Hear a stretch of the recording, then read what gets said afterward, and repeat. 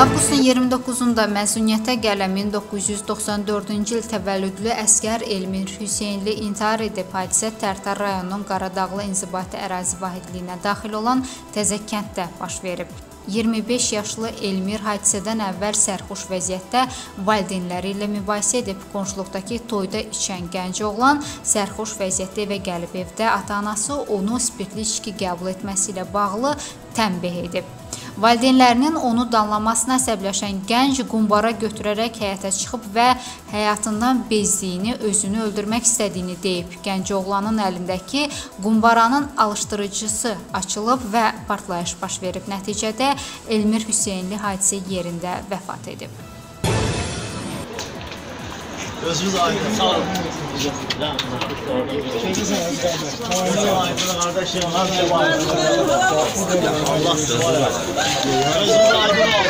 Allah. Bu gün Gəncə işi üzrə təqsirləndirilən şəxslərin bir neçəsi məhkəmə zalından azad olunub. Digər təqsirləndirilən şəxslərin isə cəza müddəti azaldılıb.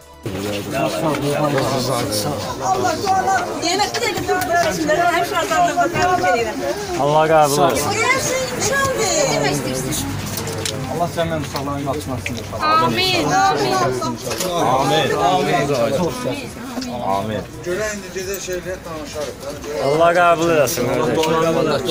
Azadlıq mübarək olsun. Aman böyüdən bizi sayın. Can yarasam. Allah qəbul etsin. Nə üçün mən çox ustanla Kardeş, daha ahvalınız iyi.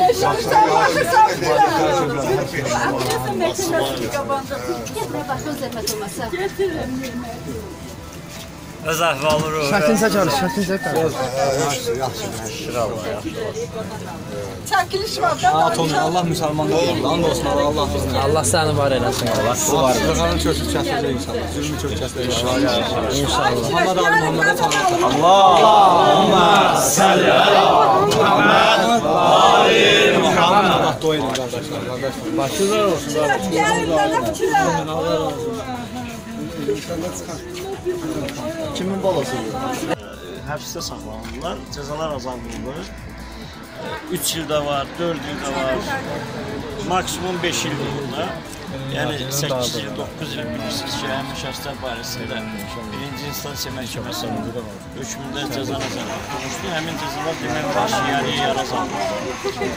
3 ildən təqribən hətta 2 il 6 ay, məsələn 2 il 6 ay müddət cəza müəyyən olundu. 2 il 6 aydan 5 ilə qədər ümumi hal yazmışam da. Digər dizdən ola xahiş Yer kağıt çıxartmaq.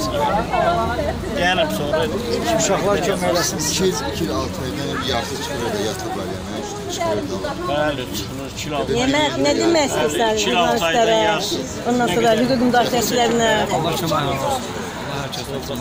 Əziyyət çəkən inşallah əziyyət yerdə qoymasın. Allah cəmiyyən qardaşların qapısını açsın. Haqq din haqqı istəyən olsun. Cəmiyyən uşaqların inşallah qapısını açsın. Yəni inşallah bu zülmün kök kəsiləcək. Belə getməyəcək bu inşallah Allahın köməyi ilə. Təhmən yox, çox qardaşlar haqsız çıxır. İnşallah açılacaq qapılar Allahın köməyi ilə. Dua edin inşallah. Xanım Zəhra Fatimə Bugün cümə günü, bugün məxsusi gün. Bu günə xatir, bu günün sahibinə xatir Allah cəmiyyən uşaqların qapısını açsın. Məxsus amin. Din haqqı istəyən tutan qardaşların qapısını açsın. Biraz üzülürsən, həyəcanlıyam biraz. Əsas o da azadlıqdasız. Bəli. Bu, bu, yox, biz bu, elə bir kiçik zindandan böyük zindana çıxdıq. Böyük zindandan. Dünya özü zindandır inşallah. Əlbəttə ki. Miskin, böyük zindana çıxdıq. İnşallah Allah bizi Kərbala şəhiddən eləmək. Amin. Allah sizə bütün ustaların valideynlərinə təbrik etsin. Hə var.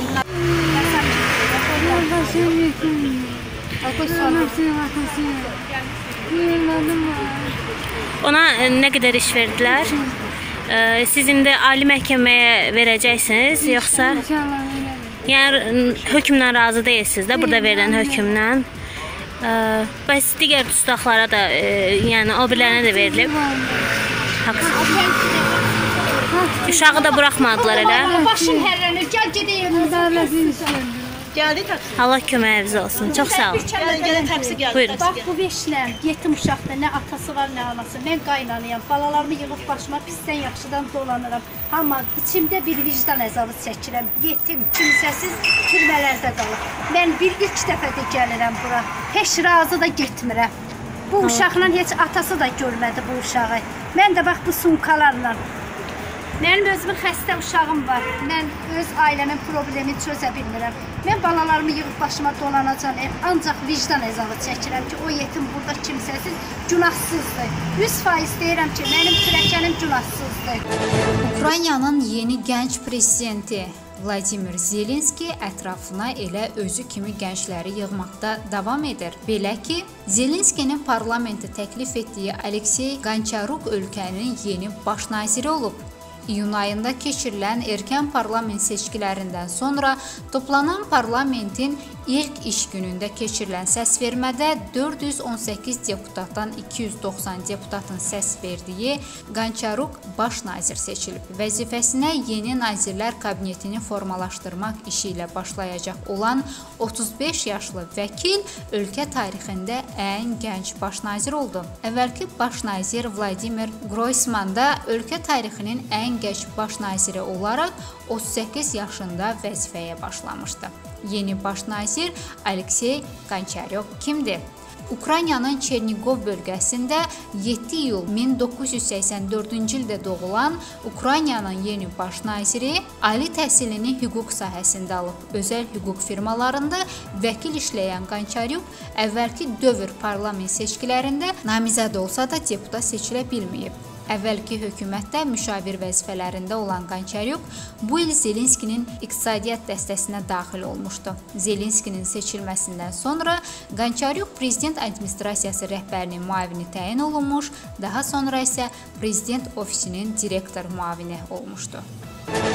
Putinin Max 2019 sərgisi zamanı onu müşahidə edən Türkiyə prezidenti Rəcəb Tayyib Ərdoğana və digər rəsmilərə dondurma alıb verdiyi satıcını axtarmağa Moskovski Komsomolesk qəzetinin jurnalistləri yollanıb. Lakin onlar nə dondurma satan qızın özünü, nə onun dondurma satdığı köşkə oxşar köşkü orada tapa bilməyiblər. Hətta məlum olub ki, Putinin aldığı dondurmanın markasından da bu ərazidə satılmır.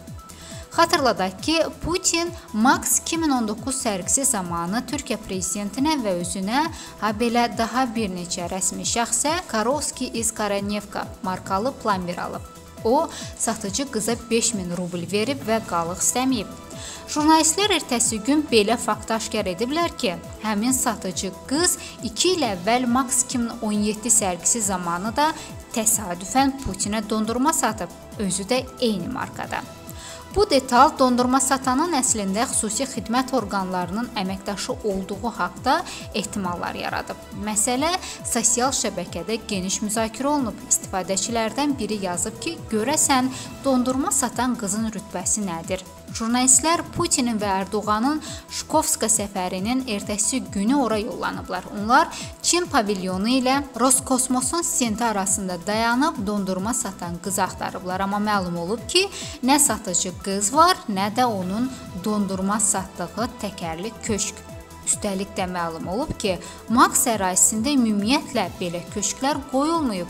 Doğrudur, sərgi keçirilən ərazidə dondurma satanlar var, amma onlar tamam fərqli formada geyiniblər və Putinin aldığı Volqograd kombinatında istehsal edilən həmin dondurmadan heç kim satmır. Dondurma satanlar isə bir ağızdan deyiblər ki, Putinə dondurma satan qızı heç kəs tanımır.